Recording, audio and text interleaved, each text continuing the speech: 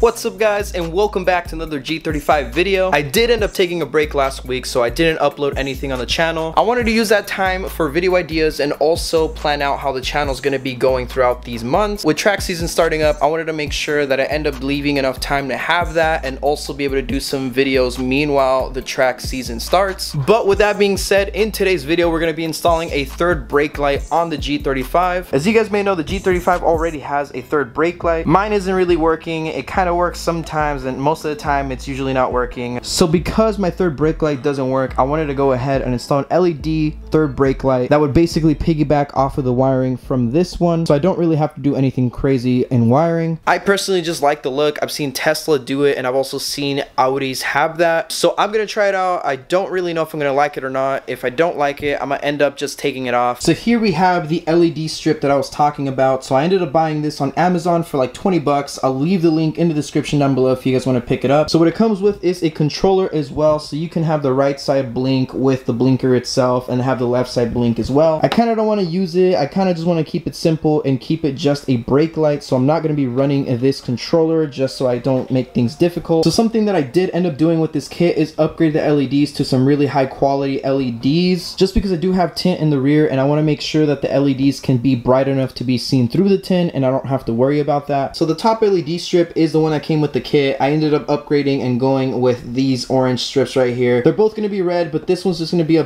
bit better since it is constructed a lot better with the high quality LEDs. All right, so going into the G35, first things first is you want to get access to the third brake light. So I ended up putting down the seats and I have a bunch of mess. Disregard that. So we do need access on the third brake light so we can get into the wiring. It does have a connector so we can go ahead and disconnect that and then we can actually piggyback off of the connector and use the wiring there. Let's go ahead and get started. We'll go ahead and disconnect the connectors in the back of the third brake light and we'll go from there.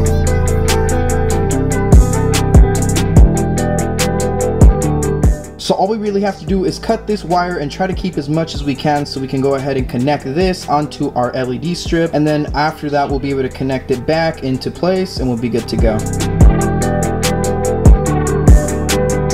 I ended up connecting the LED strip onto the connector already, so it's good to go there. I just put a little bit of electrical tape. I don't know if I'm gonna keep this whole thing together, so I do have this right here just in case. And worst comes to worst, I end up upgrading to maybe a LED strip on this one and end up keeping it the stock form. So as of now, I'm gonna have it with electrical tape. In the future, if I end up keeping it and I end up liking it, I'll end up just doing the wiring right. But for now, this is how it's gonna be, and we're gonna go ahead and test it right now, see how it looks, see how bright it is, and see if I like it. Before we do that though, I just want to tell you guys that I love giving away stuff to you guys. It's really cool. It's really neat that I'm able to do this and I'm in a position where I can do that. The reason I'm saying that is because I have an old catch can right here. This is basically like the one I'm using. I don't know if you guys are interested in a giveaway. If you guys are interested in this being given away in the next video, go ahead and leave a comment down below. Let me know if you guys want stuff like this, small stuff, or if you guys prefer just having bigger things like big bore throttle body or something along those lines. I'm really going to strive to do a lot of giveaways for you guys.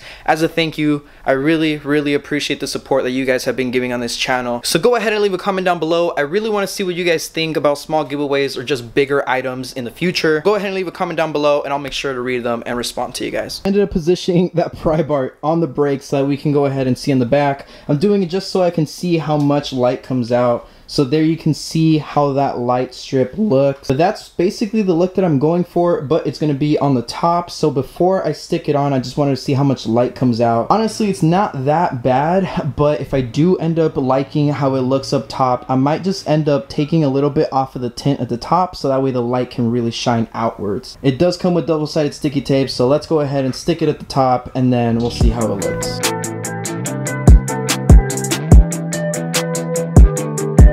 It is installed and I really like that you can't even tell that it's installed. You don't see any red strip in the top. It's tucked away pretty well so we don't have any worries on that. But we are going to have the wiring kind of out there for a bit until I see if I like it or not. After that I'm going to go ahead and clean it up and maybe tuck it in all the way. Then I'll go ahead see if I like it, see if you guys like it and if you want to pick it up for yourself or if you'll pass on it. Alright guys, same thing as before, pry bar on the brake pedal. So here it is. This is the final product and you honestly honestly can't really tell, but I do have a lot of light out. So this is how it's going to be seen in the daytime, which I'm not really worried about. I'm more so worried about how it's going to look in the nighttime. And I can tell already that it's going to look really sick. Let me go ahead and turn off all the lights so that we can go ahead and see how it looks. All right, guys, moment of truth. This is how it's going to look at night. So here you can see how the LED strip looks. Honestly, I think it looks really damn good. Obviously, it's not as bright as I would want it to be, but that's because I do have the windshield tinted. So that's the only thing that's making it really hard to see. I do have 5% tint, so if you have anything less, it's always going to be brighter. Honestly, I didn't know if I was going to be a fan or not, but looking at it in person, I'm telling you guys, this looks really good and honestly kind of suits the car. It doesn't look out of place, which is something that I was really concerned about. I didn't want it to look weird with the car. It's obviously something that not a lot of people are doing to their G35s, um, so I wanted to do that because of that reason as well. I've seen this on Teslas and Audis, like I said, and I really like the way it looks on those, and I was wondering if it was going to look good or if it was going to look out of place on this car. I think the only downside to this is going to be that the cabin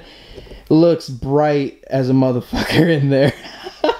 I'll try to fix it, see if that works, but it kind of looks cool. I don't know if you guys want that in your G35. I personally don't really want that, but if it does look a little cool at night, I'll probably keep it. All right, guys, so it's been a minute since the last clip, and I wanted to show you guys how it looks inside now. It's not as bad as it was before. Obviously, there's still some red in there, but I ended up just using some electrical tape to kind of cover up that red portion that was showing because it was showing a lot more over here. Now it's just showing over there, so it's going to be a lot more bearable. So let's go ahead and cut into the nighttime. That's when we'll really be able to see how it looks and if we like it or not. Like I said, I am going to be driving this car for a bit and see if I even like having this. Maybe it just ends up blinding the windshield and I can't see back. But that's only with time we'll be able to tell what's going on. But with that being said, let's go ahead and cut into the nighttime. All right guys, so this is the nighttime and this is exactly how it looks with the brake light on. I'm starting to like it more and more. I really like how it looks. There's a whole party going on over there. Disregard that, but I really do like the way it looks. I think compliments the car. I really thought that it was gonna look out of place or it just wasn't gonna look right, but I really do think that it looks good on this G35 and I am planning on keeping it for at least a good while. Like I said, link will be in the description for the LED kit you can obviously go ahead and wire it up to make the blinkers work as well. I just didn't want to do that. I wanted to be quick and simple, make sure everything works, and it's just a third brake light. It's honestly so cool to look at, even from here. I mean, you can obviously see how nice that looks. So I'm a fan of the way it looks. I really do like it. So that's to be all for this video. I hope you guys did enjoy it. Leave a like if you did. Subscribe if you're new around here. Plenty of G35 content on the channel already and a bunch of G35 content coming up. So go ahead and subscribe. Turn on post notifications to be the very first one to know when I upload. And I'll see you guys in the next video. Peace.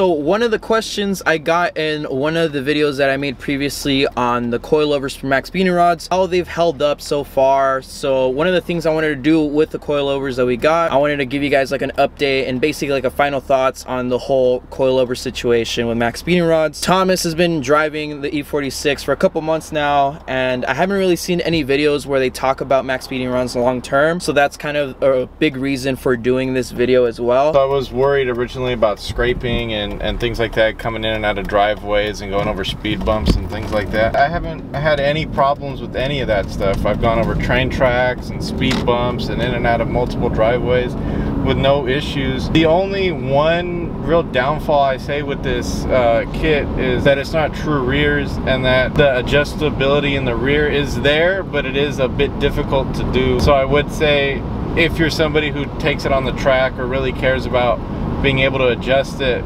quickly and easily that is the one thing you're not really gonna get. Even right now, him just driving, like it's not bumpy, it's not harsh, it's comfortable yeah, it's still sporty enough to where, you know, it doesn't feel like it's wallowing around. But if you're on a budget, if you just want to, you know, set it and forget it, then this is like perfect. You don't really have to worry about it once you install it. If you guys are interested in picking up some set of coilovers for your car, it doesn't have to be an E46, down for G35s, 350Zs. Use code JOE for 15% off your whole order. It'll help you out. Just take some of that cost away. They're already a great price, but with the 15% off, it does help out. It does also help out the channel with you guys supporting us with all the brands that we work with. So it helps you, it helps us. So make sure you pick yourself up some coilovers.